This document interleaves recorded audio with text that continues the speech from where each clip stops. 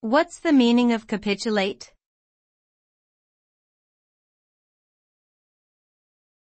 Capitulate.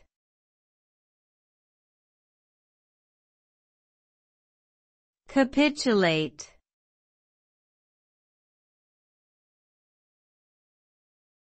Capitulate.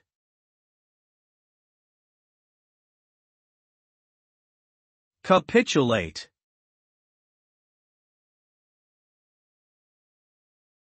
Capitulate means to surrender, often after resisting for a period of time.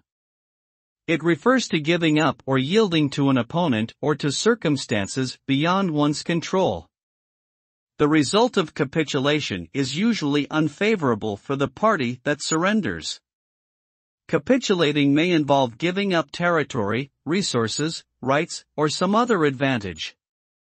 It may also involve accepting terms imposed by the other side. Overall, capitulation means accepting defeat and relinquishing power or control.